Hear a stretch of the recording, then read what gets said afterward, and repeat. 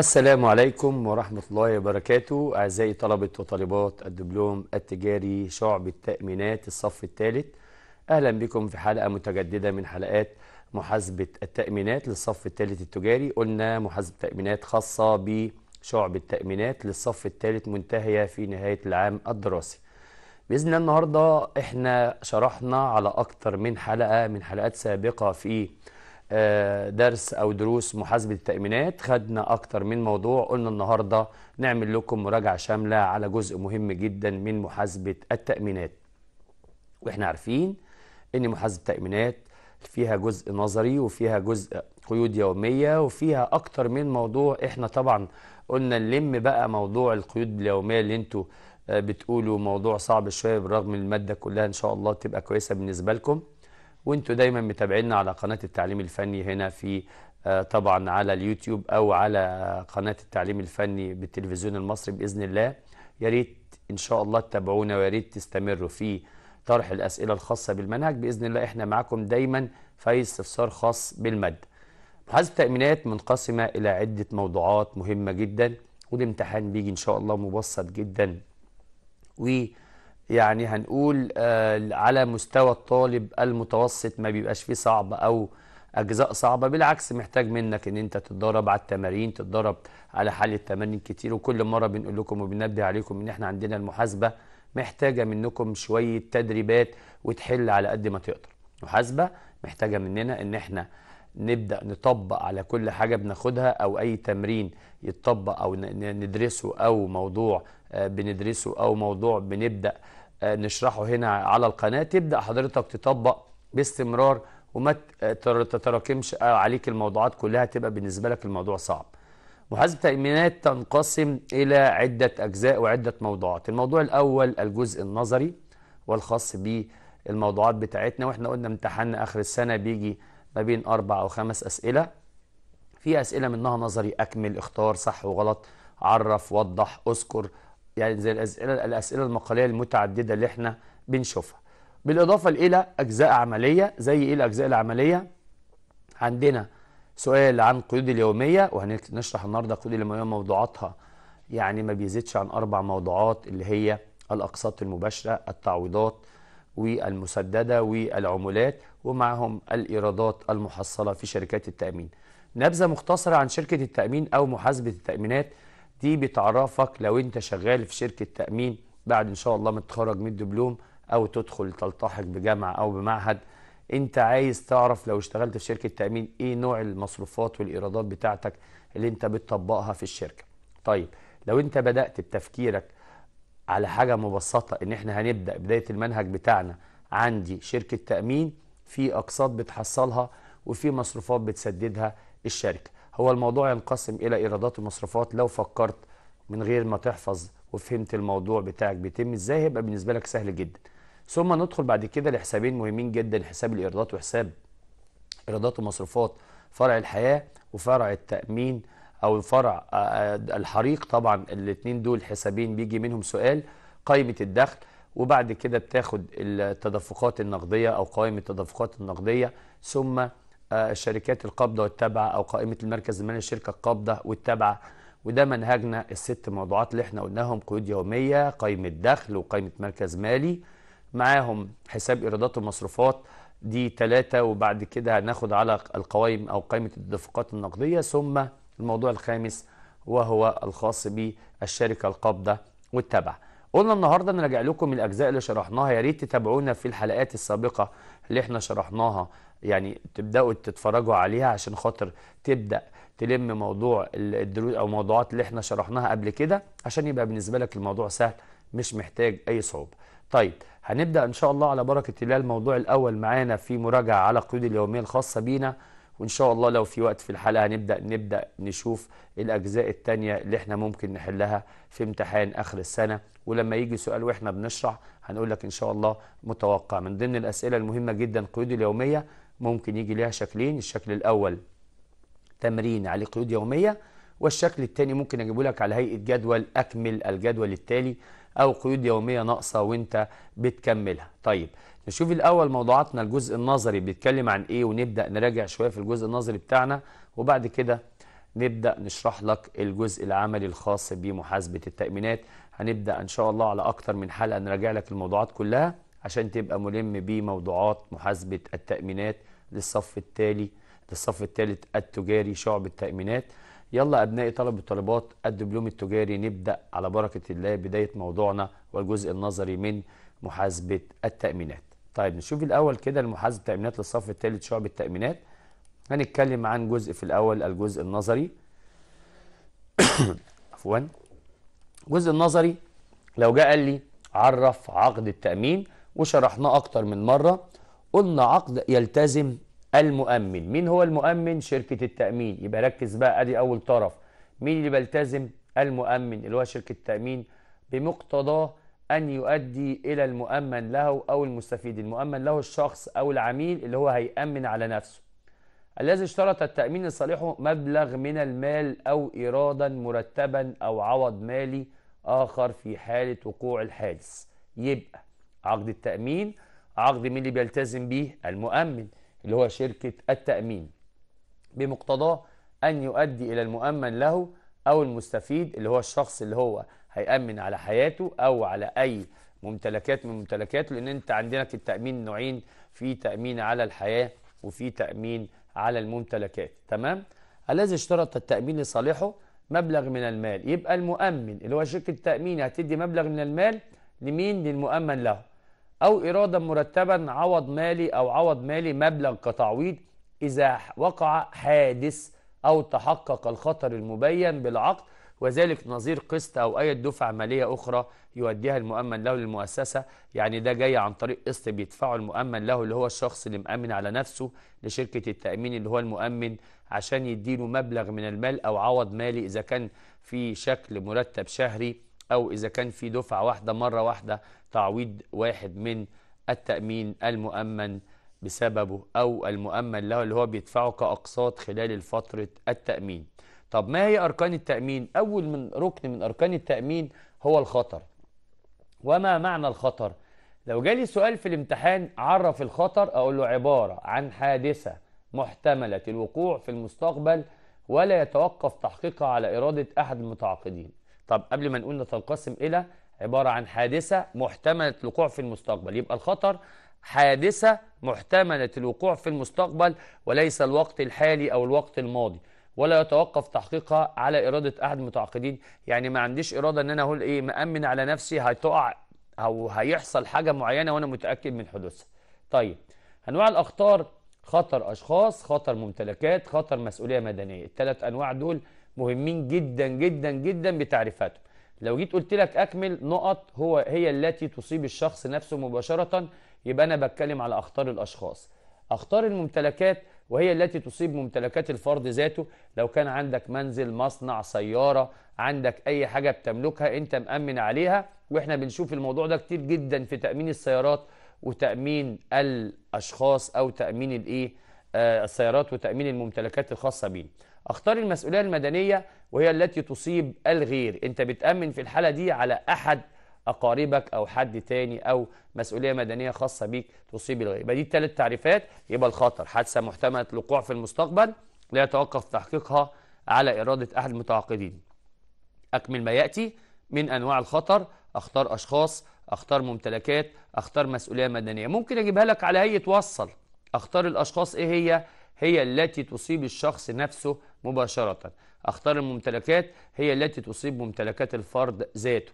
أختار المسؤولية المدنية هي التي تصيب الغير. طيب تعالوا بقى كده جزء تاني النوع التاني بتاعنا من أنواع الخطر القسط يبقى أول حاجة عندنا عرفناها اسمها الخطر.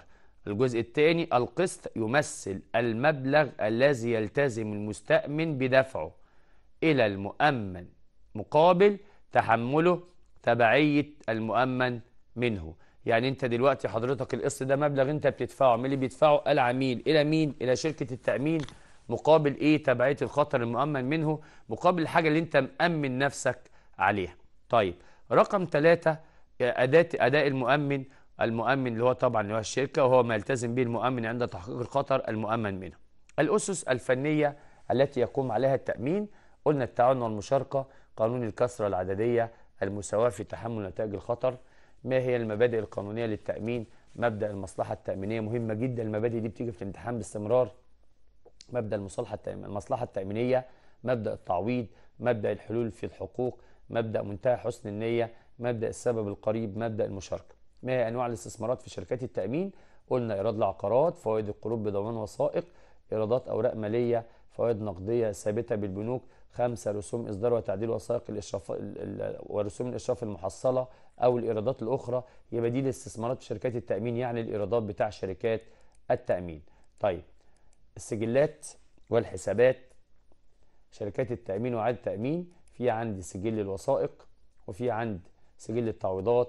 وخدناها قبل كده في حلقات سابقة تعريف كل حاجة. سجل الوثائق تقيد به الوثائق المحققة في شركات التأمين. سجل التعويضات تقيد به كل المطالبات التي تتحقق في شركات التأمين سجل الوسطاء سجل الاتفاقيات بتسجل فيه كل الاتفاقيات سجل الأموال المخصصة حسابات فروع التأمين. ما هي أطراف عقد التأمين؟ ثلاث أطراف مهمين جدا.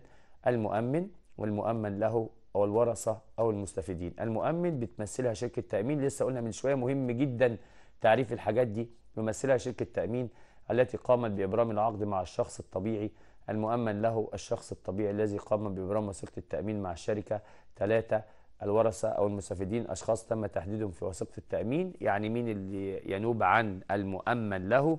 عن الحصول على التأمين. ما هي أقسام وثائق التأمين على الحياة؟ عقود تأمين ضد خطر الوفاة فقط وعقود تأمين في حالة الحياة فقط. عقود تأمين ضد خطر الوفاة والحياة معا. محتاجة منك إن أنت تكتب الأسئلة دي وتبدأ تحفظها وإحنا فهمناها بس دي بتيجي لك كأسئلة. جبتها لك أكمل. أطراف عقد التأمين على الحياة نقط ونقط ونقط. جبتها لك وصل. جبت لك صح وغلط. أي سؤال من ده تتوقع إن ممكن يجي لك في الامتحان بالطريقة اللي إحنا بنقولها. اختر الإجابة الصحيحة من يلي الخطر من أسس من أركان التأمين. التزام شركة تأمين لقيمة الوثيقة المؤمن له في حالة ما. إذا كان الخطر السبب المباشر ده تعريف مبدأ السبب القريب. من أهم بيانات عقد التأمين مدة التأمين سجل النقط تقيد به جميع المطالبات سجل التعويضات المؤمن ولا المؤمن له الشخص الطبيعي الذي قام بإبرام وثيقة التأمين طبعا المؤمن له وثائق التأمين العامة التي تغطي ثلاث سنوات أو خمس سنوات تسمى وثائق المدة. من أهم المبادئ القانونية التأمين مبدأ المشاركة القسط ولا التعويض هو المبلغ اللي يلتزم به المستأمن بدفعه طبعا ده تعريف الإيه؟ القسط. وخلافه أداة المؤمن ما يلتزم به شركة التأمين عند تحقيق الخطر يعتبر عقد التأمين على الحياة من العقود طويلة الأجل. معظم وثائق التأمين العامة وثائق غير محددة القيمة. التدفق النقدي من بيع أو خسارة أصول ثابتة بيساوي النقص في الأصول الاستثمارات وناقص خسائر البيع زائد ربح البيع. طيب إحنا كده برضو في جزء صح وغلط.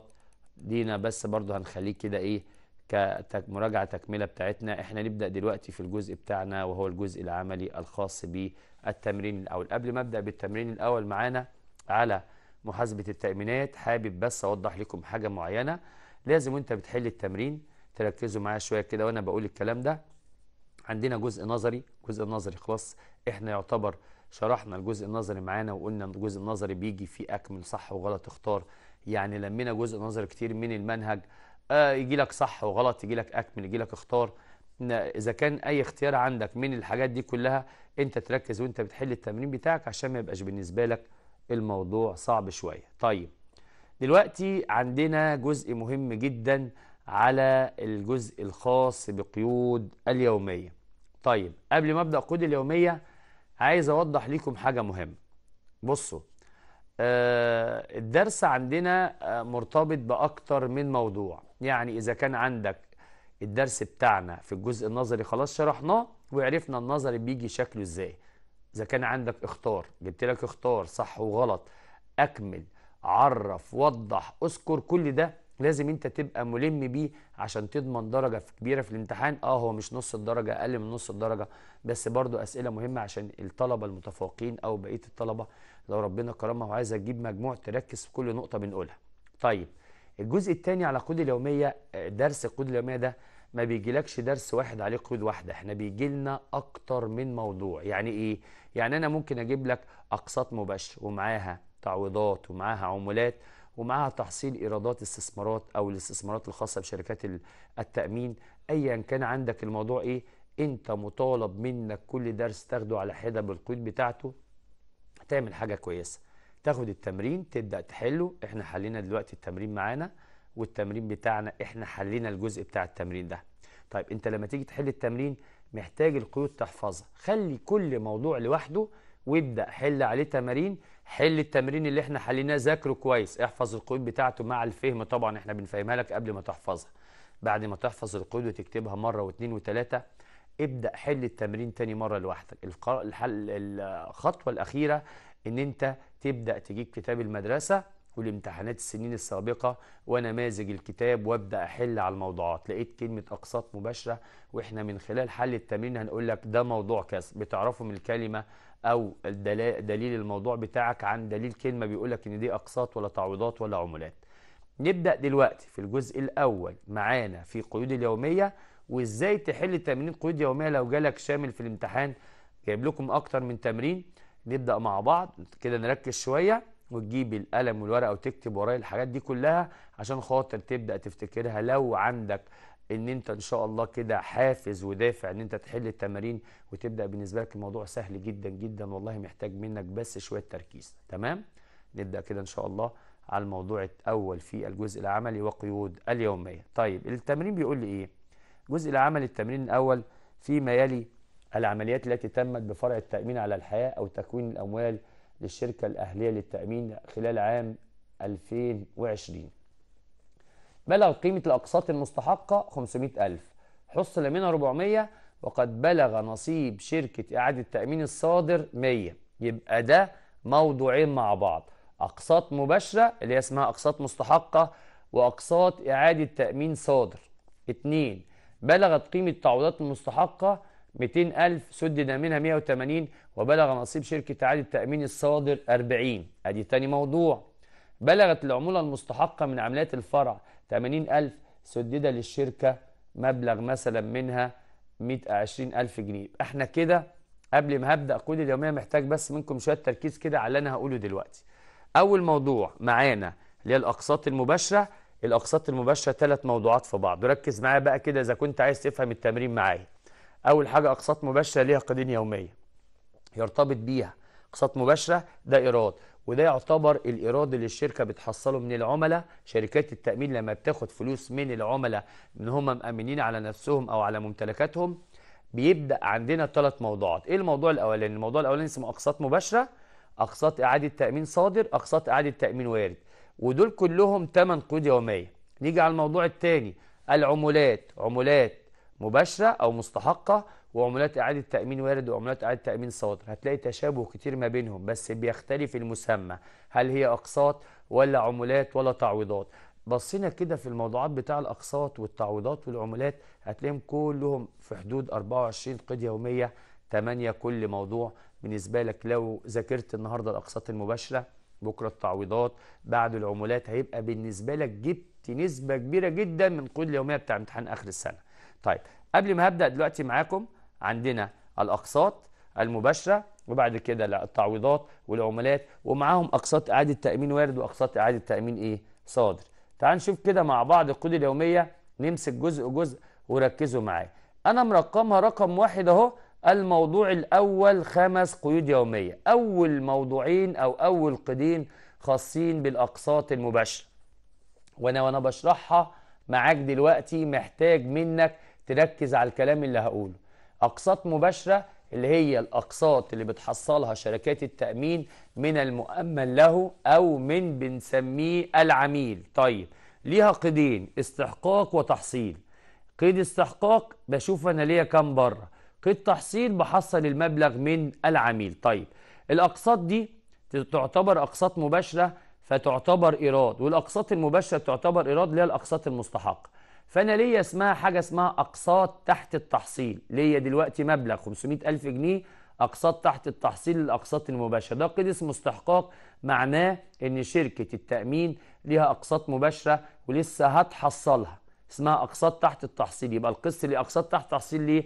عشان لسه ما عملتلهاش تسوية أو أودعتها في شركة التأمين. يبقى من حساب أقساط تحت التحصيل لحساب أقساط مباشره قيد التحصيل لما أجي أحصل الأقساط دي هحصلها في الخزنة أو في البنك. لو قال لك نقدا يبقى من حساب الخزينة. لو قال لك بشيك يبقى من حساب البنك. لو كتبت الخزينة أو البنك صح ما فيهاش أي مشكلة. يبقى القيد الثاني من حساب الخزينة أو البنك لحساب أقساط تحت التحصيل. لو ما قالش خزينة أو بنك هتقول له هتقول له انت إيه خزينة وبنك. يبقى تاني نقول مع بعض. الأقساط المباشرة لها قيدين استحقاق وتحصيل. استحقاق وايه وتحصيل. من حساب أقساط تحت التحصيل لأقساط مباشره ومن حساب الخزينة أو البنك لحساب أقساط تحت التحصيل.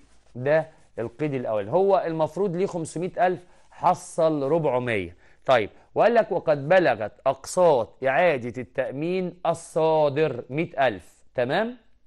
أقساط إعادة التأمين الصادر ليها ثلاث قيود يومية أقساط تحت التحصيل استحقاق وتسوية وإقفال. استحقاق وتسوية وإقفال. استحقاق أقساط إعادة التأمين الصادر تسوية أقساط إعادة التأمين الصادر إقفال أقساط إعادة التأمين الصادر. نقول لك بقى القيود دلوقتي أقساط إعادة التأمين الصادر دي مقصود بيها إيه؟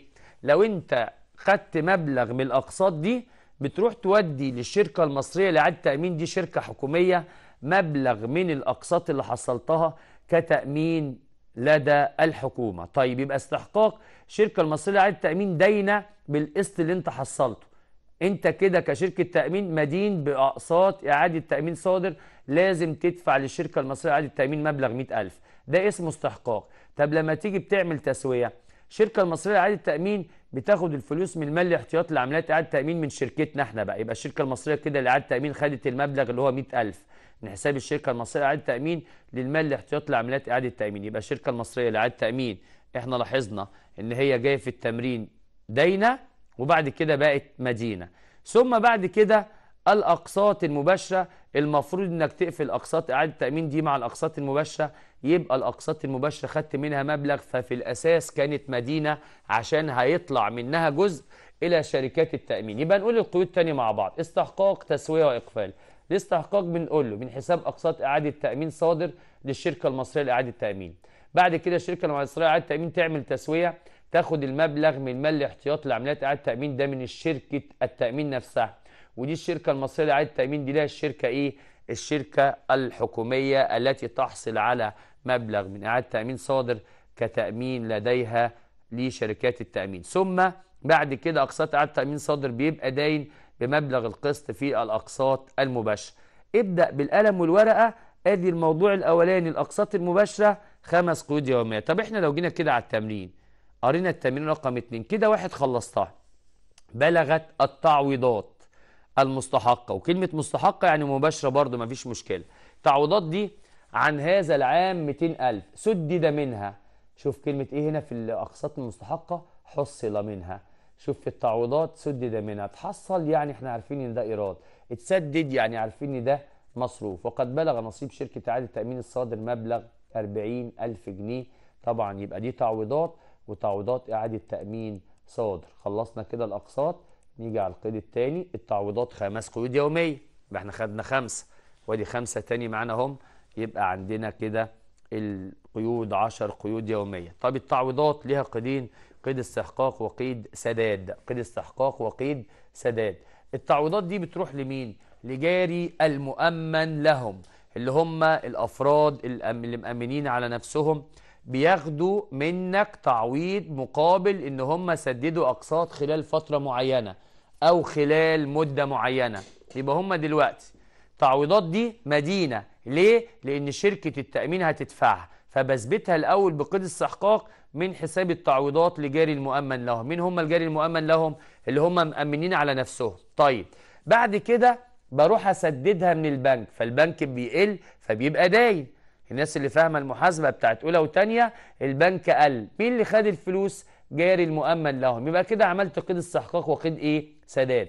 دايما قيد الاستحقاق تعرف إن المبلغ بتاعك لو كان مصروف بيبقى مدين؟ ولو كان إيراد بيبقى داين زي القيد اللي فات في التمرين اللي فات قلنا الأقساط المباشرة أو أقساط مباشرة كانت إيه في أول قيد؟ كانت داينة عشان بس تركز في القيد بتاعنا. طيب بعد كده في أقساط أو تعويضات إعادة تأمين آه وارد أقساط إعادة تأمين صادر آسف وأقساط إعادة تأمين صادر ثلاث قيود يومية. ده بقى بيرجع لك أنت من شركة إعادات التأمين شركات إعادة التامين لتعويضات إعادة التامين الصادر وبعد كده ده قيد إثبات ثم تحصيل من حساب المال الاحتياطي لعمليات إعادة تأمين لشركة إعادة التأمين ب 40000 وبعد كده من حساب تعويضات إعادة تأمين الصدر للتعويضات. التعويضات إعادة تأمين الصدر ده مبلغ مدين أنت بتدفعه كشركة يعتبر بالنسبة لك في الآخر أثبتت إنه مدين والتعويضات خدت منها المبلغ ال 40000 بقت داينة. كده خلصنا التعويضات المباشرة وتعويضات إعادة تأمين صادر. يبقى تاني بس معلش هراجعها تاني لما يجي يقول لك تعويضات مباشرة أو مستحقة بنعمل لها قيدين استحقاق وسداد من حساب التعويضات لجاري المؤمن لهم من جاري المؤمن لهم للبنك. صعب القيد؟ مش صعب لو انت جبت قلم ورقة وكتبتها مرة واتنين هتحفظها. خلي كل موضوع لوحده خلي كل درس لوحده حل عليه أكتر من تمرين هتلاقي إن شاء الله الموضوع معاك مباشر وسهل جدا. طيب بعد كده شركات إعادة تامين لحساب تعويضات إعادة تأمين صادر. ومن مال الاحتياط لعمليات إعادة تأمين لشركات إعادة التأمين. طيب وآخر قيد معانا اللي هو من حساب تعويضات إعادة تأمين صادر للتعويضات إقفال تعويضات إعادة تأمين الصادر. وكده يبقى أنت راجعت الجزء المهم جدا على التعويضات. وعايز أراجع تاني معاكم الإيه؟ التمرين بتاعنا. قال لي آخر حاجة بلغت العمولات المستحقة. العمولة اللي أنت هتدفعها لمين بقى؟ بتدفع العمولة للمنتجين والوكلاء. وسددت للشركة منها إلى المنتجين 60000 وبلغ نصيب شركة اعاده تأمين الصادر منها 20000 طيب إحنا كده خلصنا رقم 2 تعال على رقم 3 اللي هي العمولات. العمولات دي؟ ليها حضرتك عندنا قيدين يومية وعمولات إعادة تأمين صادر ليها عندك بالظبط كده حوالي ثلاث قيود يومية. فإحنا كده بنتكلم في خمس قيود يومية. يبقى أنت عندك تعويضات اجور وعمولات يعتبر استحقاق وسداد. نفس بالظبط التعويضات بس بدل ما نقول له تعويضات بنقول له أجور وعمولات. ممكن أجور وعمولات تبقى بالنسبة لنا حاجة ثانية نقول له أجور وعمولات دلوقتي تبقى بالنسبة لنا مثلا عمولات. يبقى العمولات هي الأجور والعمولات. أنت بتدي الوكلاء مقابل إن هم بيجيبوا لك عملاء عملاء للشركة لشركة تامين فبتديهم إيه؟ عمولة. العمولة بتاعتهم دي 80000 سدد منها 60 مين هم المستحقين العمولة؟ الوكلاء والمنتجين. استحقاق وسداد. الوكلاء من المنتجين خدوا فلوسهم من البنك فالبنك قال في عندي عمولة إعادة تأمين صادر فبنقول من شركة إعادة تأمين لعمولة إعادة تأمين صادر. ومن الخزنة والبنك لشركات إعادة التامين ده تحصيل جزء من العمولة 20000 ومن حساب عمولة إعادة التامين يحمل أو يقفل مع حساب إيرادات ومصروفات فرع تأمين الحياة لأن ده يعتبر عمولة لينا إحنا كشركة تأمين. يبقى أنت ملاحظ إن دي مصروف لكن الصادر بيبقى إيراد. اعكس دايما في موضوع الصادر ده. يعني لو أنا عندي أقساط مباشرة وفيها أقساط إعادة تأمين صادر أقساط المباشره إيراد يبقى أقساط إعادة تأمين صدر مصروف بتبقى عكسها على طول. الوارد بيبقى مشابه للجملة يعني الأقساط المباشرة لو إحنا عندنا أقساط إعادة تأمين وارد بيبقى إيه؟ مشابه للجملة بتاعتنا. كده خلصنا الجزء أو التمرين بتاعنا في الدرس الخاص بالقيود الخاصة بالأقساط بتاعتنا. طيب إحنا بنمرن نفسنا دلوقتي على القيود اليومية. وإزاي عندك الدروس تحلها؟ يبقى هنقول تاني الأقساط المباشرة مع أقساط إعادة تأمين وارد وأقساط إعادة تأمين صادر. العمولات المباشرة مع عمولة إعادة تأمين وارد وعمولة إعادة تأمين صادر. التعويضات المباشرة أو المستحقة كلها بيبقى برضه نفس اسم مستحقة. فيها تعويضات إعادة تأمين صادر وتعويضات إعادة تأمين وارد. أنت كل حاجة من دول محتاج منك شوية تركيز بس تمسك قلم ورقة وتكتبهم. خدنا النهارده 15 قيد يومية مثلا. لو انت كده بتراجع ثلاث دروس ممكن انت تدرسهم في المدرسة أو انت بيتشرح لك في شهر. شهر مش بالنسبة لك. لو انت خدت كل أسبوع أو كل ثلاث أربع أيام خمس قيود على الدرس الاولاني احفظهم وابدأ اطبق عليهم الموضوع سهل مش صعب. برضو تمارين تانية على الجزء الخاص بالقيود اليومية عشان بس تركز وتشوف شكل الامتحان بيجي إزاي والأفكار اللي موجوده معاك تقدر تحلها بأنهي طريقة. والقيود محتاجة يعتبر إحنا إحنا بالنسبة لنا موضوع سهل. إنما بالنسبة لك كطالب هو أصعب جزء عندك جزء قيود اليومية. بقية المنهج الحمد لله جاي مباشر جاي سهل. يعني إحنا بنقول آه، مفيش تغيير حاجات مباشرة الحمد لله. بتيجي الحاجات كلها مباشرة والناس يعني المفروض الساده المستشارين بيراعوا ظروف الطالب إن الموضوع ما يبقاش فيه صعوبة ما يبقاش فيه فكرة صعبة بس محتاجة منك كطالب تفكر تجيب التمرين إزاي وتحله إزاي يبقى عندك عقلية متدربة عقلية متطورة تبدأ تفكر إن أنت ممكن يجي لك الامتحان بأي شكل من الأشكال سواء إذا كنت بشرح لكم ضرائب لشعبة إدارة أو هنا تأمينات لشعبة تأمينات. طيب كده خلصنا تمرين أولاني عايزين ندخل على التمرين التاني ونشوف طريقة حله إزاي. سهلة ما فيهاش أي مشكلة. محتاجة منك بس شوية تركيز يعني كتابة مذاكرة. آه، اقرص على نفسك شوية الفترة اللي جاية خلاص إن شاء الله داخلين كده على الترم الثاني قربنا. فيبدأ يبقى بالنسبة لك لما أقعد كده أخلي الحاجة لآخر السنة هتبقى بالنسبة لك الموضوع صعب شوية. تمام؟ ده الجزء الخاص بقيود اليومية. نكمل بقية التمرين بتاعنا بتمرين جديد عن قيود اليومية ونشوف طريقة التمرين بتتحل إزاي. وخطوات حله بتتم إزاي. طيب العمليات الآتية تمت في إحدى شركات التأمين جملة التعويضات المختلفة 85000 سددت نقد. أدي التعويضات. أقساط إعادة تامين الصادر 55 سدد منها 32 أقساط مباشرة 75 حصل منها 40 عمولات إعادة تامين الوارد 27 سدد منها 10 العمولات المباشرة آه، طلع 28 سدد منها بعد خصم 1000 جنيه ضرائب و2000 جنيه تأمين الهيئه الرقابة المصرية. فوائد القروض المستحقة رسوم الإشراف المسددة. تعالوا نشوف المصروفات المختلفة في التمرين تتحل إزاي. جملة التعويضات المختلفة. نبدأ بأول تمرين أول جزء معانا. جملة التعويضات إحنا بنعمل التعويضات ليها قيدين يومية. من التعويضات لجاري المؤمن لهم. لسه حالين زيه. ومن جاري المؤمن لهم لحساب البنك. آدي التعويضات بتاعتنا. وفي نفس القيد بيقول لي إيه بقى في التمرين؟ اقساط إعادة التأمين الصادر. تمام؟ سدد منها 32 طيب أقساط إعادة التأمين الصادر. يبقى دي أقساط إعادة التامين الصادر 55 لحساب الشركة المصرية إعادة التامين استحقاق ب 55000 سدد منها لشركة التأمين شركة المصرية لإعادة التأمين للمال الاحتياطي لعمليات التأمين 32 وهتقفلها بالمبلغ بتاع الأقساط 55000 من حساب الشركة المصرية لإعادة التأمين للمال الاحتياطي لعمليات التأمين ب 32 ومن حساب أقساط مباشرة لأقساط إعادة تأمين صادر لاحظ إن التعويضات رقم واحد أهو والأقساط إعادة تأمين الصادر رقم اتنين. جبنا كل جزئية برقم عشان تعرف تفرق القيود دي بتاعت إيه ودي بتاعت إيه. طيب لو خدتها كجزء كده مذاكرة وركزت فيها هيبقى بالنسبة لك الموضوع سهل جدا مش محتاج أي صعوبة. طيب نرجع للتمرين بتاعنا رقم 3 أقساط مباشرة 75 تحصل منها 40 ليها قيدين. عمولة إعادة تأمين وارد. دي العمولات أهو. 27 تسدد منها 10 تعالوا كده ناخد رقم 3 طيب أقساط مباشرة ليها قيدين لسه قايلهم. من حساب أقساط تحت التحصيل لحساب أقساط مباشره ومن حساب البنك لحساب أقساط تحت التحصيل.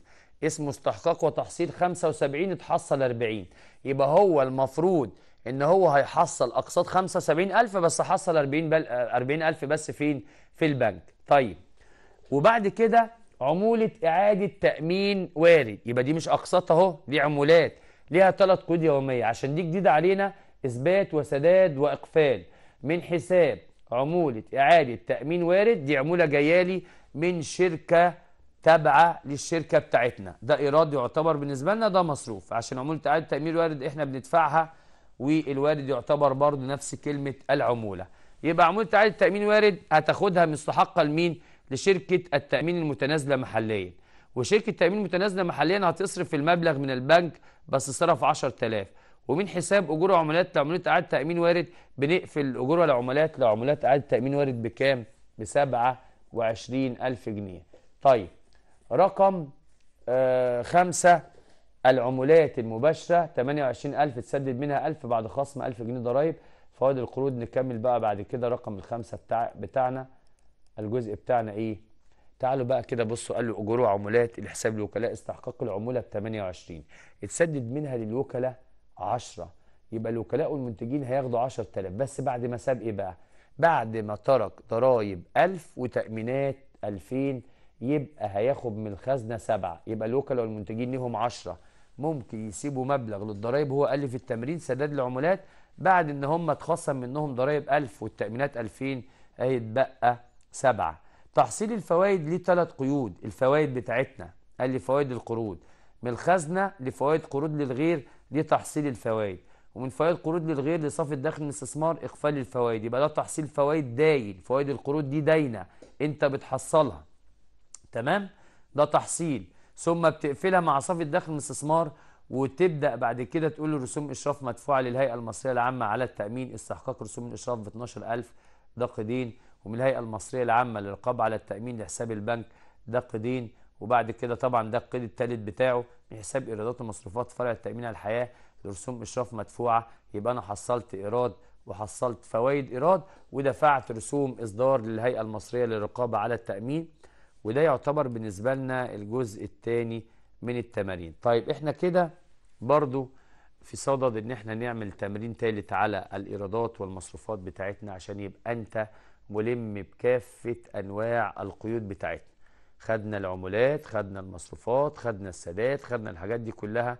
دي كلها حاجات مباشرة حاجات سهلة بالنسبة لنا مش صعبة محتاجة منك بس شوية تركيز. هنبدأ بتمرين ثالث على القيود اليومية وتبدأ تركز معايا فيه على القيود إزاي تحل التمارين بتاعتك عشان يبقى بالنسبة لك العملية سهلة مش محتاجة أي صعوبة. متكررة الحاجات متكررة الأسئلة نشوف بس لو في أفكار جديدة يبقى إحنا كده إيه بإذن الله نكون لمينا كل الجزء الخاص بالقيود اليومية عشان خلال الفترة الجاية نبدأ إيه في موضوعات جديدة في محاسبة التأمينات. طب نشوف كده التمرين بيقول إيه معانا ونبدأ نحله إزاي. العمليات الآتية تمت في إحدى شركات التأمين على الحياة المخصصات الفنية آه مخصص مال احتياطي ده مش قيود يومية ده خاص تقريبا الجزء الخاص بحساب إيرادات ومصروفات فرع الحياة. بص ده التمرين بتاعه المطلوب حساب ايرادات ومصروفات فرع الحياة عن السنة. عندنا حسابين حساب فرع حياة والحساب الثاني حساب التأمين ضد الحريق. المخصصات الفنية في واحد واحد 20 كانت 500000 المال الاحتياطي 300000 وبعد كده الأقساط المباشرة أقساط إعادة تأمين وارد أقساط إعادة تأمين صادر رسوم إشراف مدفوعة ومصروفات عمومية تعويضات مباشرة تعويضات إعادة تأمين وارد وتعويضات إعادة تأمين صادر رسوم إشراف مدفوعة عمولات مباشرة ورسوم إصدار وثائق. كل دي بيانات إحنا بنقول التمرين بتاعنا سهل جدا مش محتاج أي حاجة. محتاج منك بس هتراجع وإن شاء الله في حلقة تانية بعد كده هنشرح لكم حساب إيرادات ومصروفات فرع الحياة ونبدأ نبص كده أنا سايب لكم بس الشكل بتاع الجدول في كتاب المدرسة موجود إيه اللي بيتكتب في حساب إيرادات ومصروفات فرع الحياة إما مصروفات وإما إيرادات. والجزء بتاعنا خاص بيه العملية الخاصة بحساب إيرادات ومصروفات محتاج منا شرح شرح وافي للموضوع ده وشرحناه في حلقات سابقة. فهنخليه إن شاء الله للحلقة الجاية عشان حلقتنا انتهت. إن شاء الله بإذن الله يا رب نكون كده وفقنا في توصيل معلومة ليكم في الخاص الجزء الخاص بالقيود اليومية. وإن شاء الله في حلقة تانية هنبدأ الجزء الخاص بحساب إيرادات ومصروفات فرع الحياة والتأمين ضد الحريق. نبدأ نشرحه تاني. إن شاء الله إحنا بنتمنى إن إحنا نكون قدرنا نوصل لكم المعلومة الخاصة بدرس النهارده درس القيود اليومية التعويضات والأقساط والعمولات والإيرادات دي كلها خاصة بالسؤال الأول. يا رب إن شاء الله نتمنى لكم كلكم التوفيق والنجاح. كان معكم أستاذ محسن الشريف معلم خبير بوزارة التربية والتعليم والسلام عليكم ورحمة الله وبركاته.